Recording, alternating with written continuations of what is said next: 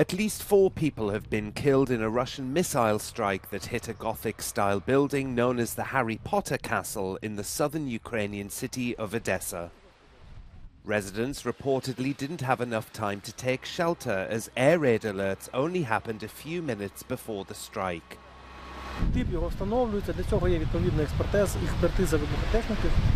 Зараз працюють усі відповідні служби, Державна служба надзвичайних ситуацій, усуває наслідки цього удару. Е, Так само працюють слідчі органи, е, тому що це, це черговий воєнний злочин. In Kiev on Monday, NATO Secretary General Jens Stoltenberg said the alliance's members had failed to deliver what they promised to Ukraine in good time, allowing Russia to exploit battlefield advantages. Сьогодні саме про оперативність багато було і на перемовинах з генсеком НАТО, з Єнсом Столтенбергом, вчасне постачання зброї для наших воїнів, вчасні і достатні рішення про ППО для України. Це те, що необхідно просто зараз для захисту життя.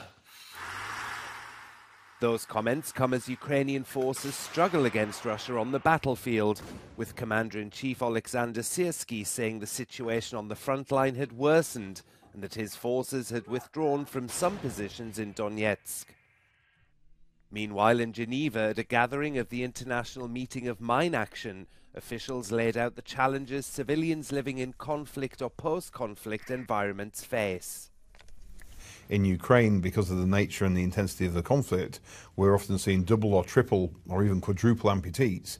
And a lot of the, those injured are in their 20s and 30s. The UN says around 60 million people in 60 countries live from one day to the next, unsure if they will step on a landmine or unexploded ordnance left over from a conflict.